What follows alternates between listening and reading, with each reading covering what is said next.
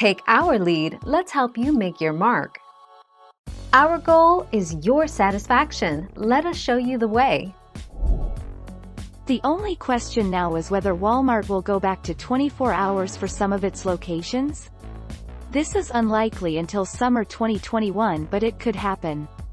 We will see how this plays out but it does appear Walmart intends to continue operating long hours similar to what they did pre-pandemic.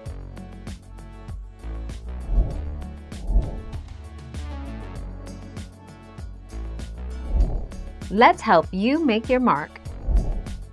Walmart is not back to doing in-store business 24 hours a day, but by Monday, August 17th, more than 4,000 of the retailer's 4,700 U.S. stores are staying open until 10 p.m.